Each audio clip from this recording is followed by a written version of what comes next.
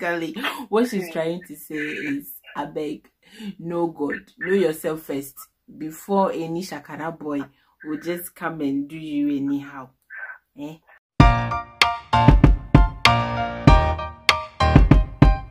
Hey guys, welcome back to the channel. This is your girl Adwoa. You are watching Adwoa Goddess TV. So if you are new here, you are so welcome. And to my old subscribers, thank you so much for um, coming back all the time to watch my videos. So guys, today's video is still on the matter for betrayal and forgiveness. Guys this is the part three of the video. So if you haven't watched the part one and two please go into the subscription box. I will put the link down there so that you will understand this video fully. In today's video my guest is sharing with you guys how she was betrayed how she managed to overcome betrayal and some tips that she did to forgive the people who betrayed her and who hurt her so much. So, you guys, please stay tuned and yeah, don't go anywhere. And please don't forget to subscribe, to share, to like, and hit the notification bell for more. Yeah, the best thing, guys, to do is to, to yeah. speak it out because communication is very, very important. Sometimes I might do something yeah. to you, I don't even have a clue of it. So, if you don't come to me and you don't tell me what's what's up, what's going on, yeah, I don't know, but yeah. some people too, it's intentional character, as Deborah is saying. They know perfect what they do, but they won't they won't address it unless you you go to them. Yeah, they won't hold it. Yeah, mm. yeah, exactly. Mm -hmm. And one other thing that personally helped me when I was dealing with forgiving different people that were actually close to me and hurt me um, was Bible says that we should pray for those who um, haters, persecutors. So, well, it might not be that the person actually persecuted you, but still pray for them. Mm. Like when they, when their thoughts come to your mind, pray bless. Mm-hmm. I know it's difficult. I remember the first time I came because I, I really there were there were particularly two people which were really close to me who have hurt me at that moment, and I really didn't know how to deal with it. Like the more I thought about it, the more I, I felt hurt because, uh, as I said, they were really close, like, you know, close, okay, it's really, really close. And I, I didn't understand how they would do that and to that extent. And the more I thought about it, the more it hurt me, the more I was in pain. But so I was talking with God and I was like, how do I deal with it? And then he was like, okay, this moment you view them as your enemies, and the Bible says pray for your enemies. I was like, wow, that, that's so hard. Yeah. But I would mention their names and I'd be like, God bless them. God bless their hearts. God mm-hmm. um, empower them. God lead them, you know, to the right path.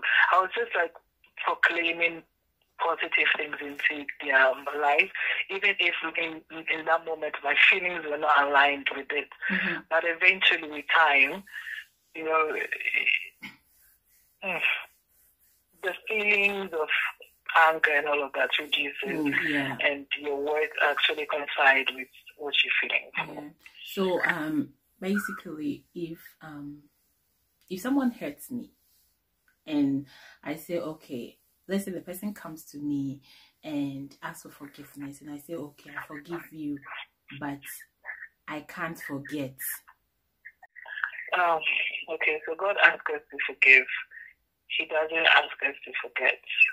Mm. I think um, I don't know. I don't know why, but in churches most of the time it's like forgive and forget. I don't know where. It's, I actually don't know where it's written. Um, oh wow! I, I didn't know the this. Part of not forget.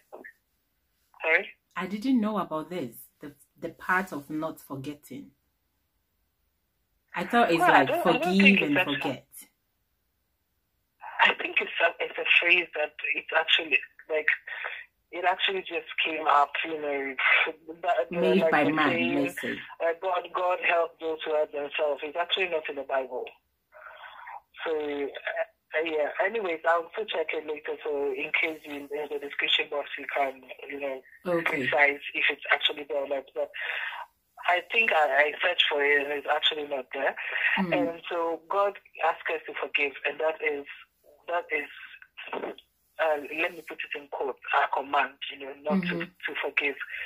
The fact of forgetting. We are human. Mm-hmm. Like we have brain. God has given us brain. We are in His likeness. Mm-hmm. We have mind. Mm. So yes, it's it's It will pop up. you know the the, the yeah like Mm. once in a while the It's situation will come back to yeah. your mind. But yeah, but it's the feeling connected to it.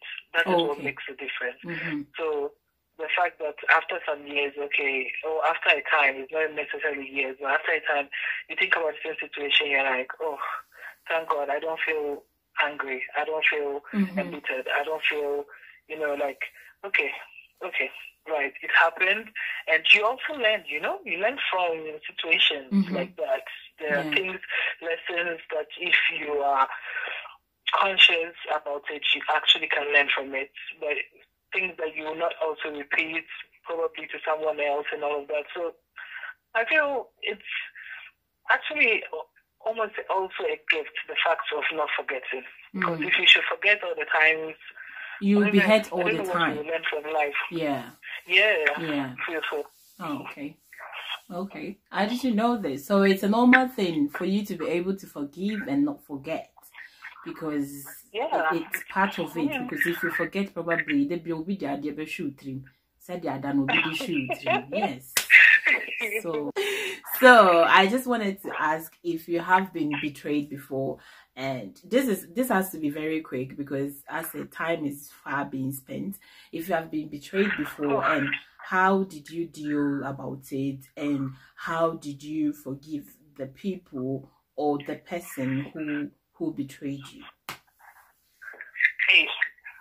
Well, as I just like I've said in the course of that conversation, Mhm. um, yes, I have been betrayed before um, in trust, and yes, I would say in trust, and it hurts because, as I was saying, it was from people that were actually close to me. And I think, well, as I was saying, depending on how close the person is, Mhm. it hurts even more. And you know, there were people who were really, really close to to me and to my heart and all of that. So um, whatever they did, I wasn't expecting it, Mhm. and I, you know, I wasn't expecting it, of course. And so it's it's devastated me. It's I remember the first the first okay, so it has to be brief, but I remember the first few days after I had um after I got the the information of what was going on or or to the length to which they had actually betrayed me.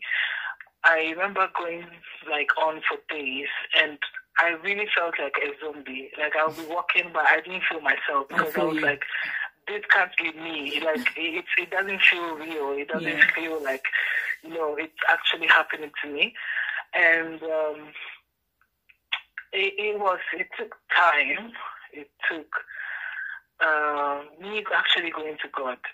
Eh, in my in my case, um, I actually had like that was one of the times I actually had like a live experience with God, like a a true experience with God. I had gone to a conference and um, said, okay, so if anyone needs prayers, you should come forward.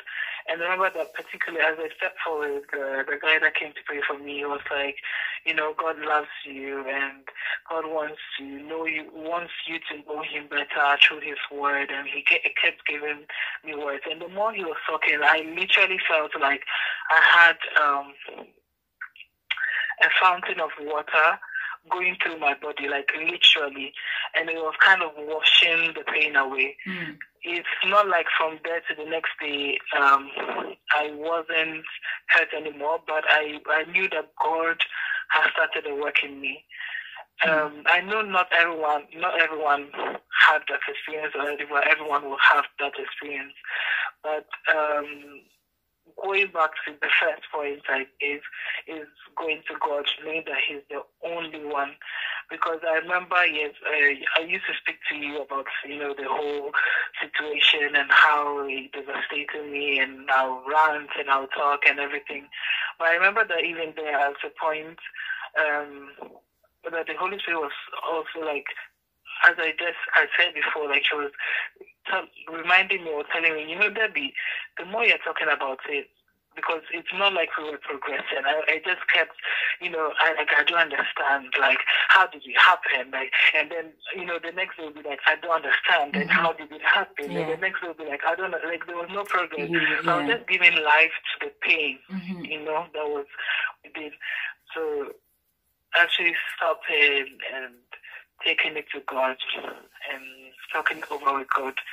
And the thing is that even with God, it's it's better to keep on talking, even if you're repeating the same thing with God, than still with a human being. Mhm. Because in the meantime, God is working on you. Yeah. Even if you don't see it, He's working on you.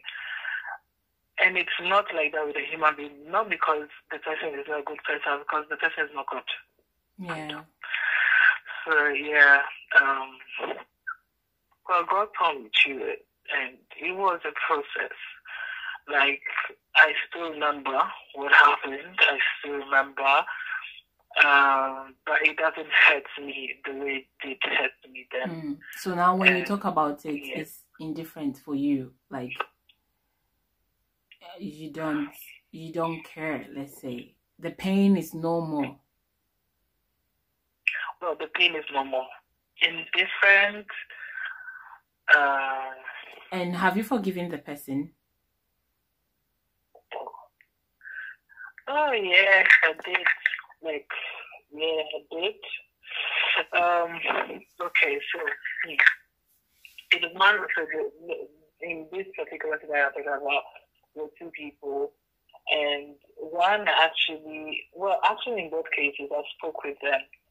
Um, Were you the one who confronted them, or they were the people who I- came I- to yeah, you? yeah, yeah. You that has Of been course, betrayed. Because I was the one who was for like who was in pain. Yeah, Mm. I was saying forgiveness is a gift because Yeah. I was the one who was bothered. Mhm. Those people are going on with their lives. With their they, lives, couldn't yeah. they couldn't bother anyway for what for what they did. Like I was the one who was literally torn apart. So it was either I spoke up and freed myself Mhm. Or going to be en, en, enslaved. And you know, when you are when you are when you've not forgiven someone, you're actually a slave to them. Because now, based on whatever they decide to do, if, if they, for example, you go to a party and you know that this person is coming, all of a sudden your mood changes. Yeah. Okay, so now you were happy, you were excited that you're going to the party uh, or a gathering, whatever it is. Mhm. And now, because you know the person is in, all of a sudden you're angry, you're angry, you want to leave the place, you are like, so indirectly the person is controlling your life. Like, Mhm. even if it's for a few seconds, the person is controlling your life. So to relinquish that, I would rather forgive and gain back control my, of my life, or rather, like surrender my life back to God. So yeah, I Okay. think comfort the future. Okay. Well, so the thing is that both, both parties actually never actually admitted to whatever happened. So, as you know, as you were talking earlier on, you know, what if the person doesn't um, own uh, their mistake, or what, what if the person you know doesn't accept? Yeah, in in both cases, actually, one up to date always said like said nothing ever happened. Like the person didn't betray me the, the way I thought they betrayed me. So imagine if I was to hold on to them, by now I feel harboring unforgiveness because the person never owned their their actions. Mhm. The other person, on the other hand, you know, did admit to it, but didn't actually also say no to it. But yeah, in the end of it all, it, it was um, I needed it from you. So For yourself. um, yeah, there are times where I also like finished my. I was like, okay, you hurt me. I didn't like what you did. Uh, I didn't like what you did. Yeah. Um, I was disappointed. That maybe I felt good, but I decided to forgive you. And sometimes ended with an "I love you." And I Mm. love you that I tr- trust me as I was saying it. You know, like they, were, Mm. they were taking my gust out of myself, but I knew it was for me. yeah. So, Wow. yeah. Okay, so bringing this um talk to an end, what would you tell anyone who is listening to you, any small advice for for your mini self or I don't know for anyone who is listening? Um, even if we are living in a social era where with social, I mean, bombarded by social media, Mm-hmm. and so where the where people move move following a trend. So the everyone does this, everyone is doing this. Mm-hmm. Dare to be different. Dare to be unique. Dare to let your uniqueness come out and let your light shine. Yeah. Um, it might be difficult. Mhm. And let's move the might. It will be difficult because if everyone is going left and you decide to go right, it's it's hard because why are you not just going left as everyone As else? everyone. But at the end of it all, it's worth it. Mm. And you stand out at the end of it all. Maybe you are, so instead of you become following a trend, you would rather become a trend. Mm. Maybe not today, but tomorrow Yeah. you will. Mm. And um, um, still in the uh, in a social media era that we are still seek to find um, uh, trustworthy, trustworthy through real tangible friends. So yes, you have friends on social media. Maybe you have thousands of followers, but still strive to have one, two close real friends, people that see you, people that you can touch, people that you can, you know, like very, very feel that- important. yeah, that when you are crying, they can actually see you crying. So Yeah. they, it's not just on social media. Mhm. And last, I put last, but actually it's supposed to be in top of everything. Seek God, and I know seek God is too broad because it would be like, oh, how do you seek God and all that? But you know, like follow God, hold God. Ah, let God be everything because Mhm. that is what she needs Yeah. even before you think about, am I going to there or am I? Before you even start thinking about uh, boyfriend or everything, if you don't know who you are, You are. know which boy you want. eh? If you don't know, if you don't, you don't know what kind of day you want. Guys, So if you want to know more, go follow her play. What she's trying to say is, I beg, know God, know yourself first before any shakara boy will just come and do you anyhow. Eh? Okay, guys, so I hope this talk show helped someone. And basically, I hope you have learned something and um, I hope this is going to help you. So, um, you guys can actually share your your experiences with betrayal and forgiveness. As Sister Debbie told us, forgiveness is basically for ourselves. It's not for the. It's a gift for ourselves. If you are forgiving someone, you are not doing the person that you are forgiving a favor, but you are rather gifting yourself something. Because if you forgive someone, you are free. Yes, you are free, guys. Imagine when you are so angry and mad at someone and um, the person is living his or her life and you are the one going through the trauma. So you forgiving someone is basically for yourself. And the saying that it's going on, actually, I didn't know. I've learned something today that forgive and forget. They say it's never true because you we are humans and you can't just forget, but you can forgive. Okay, so it is a normal thing for you to forgive and not to forget. All right, guys. So please, um, if you have not subscribed yet to my channel, what are you waiting for? Please subscribe to my channel because a whole lot is going on on this channel. And um, don't forget to tell a friend to tell a friend. And don't forget to hit on the bell button so that every video that I will upload, you will have it. You'll be the first person to watch it. I will see you in my next video, guys. I love you so much. And may God be with you. Stay safe and stay healthy.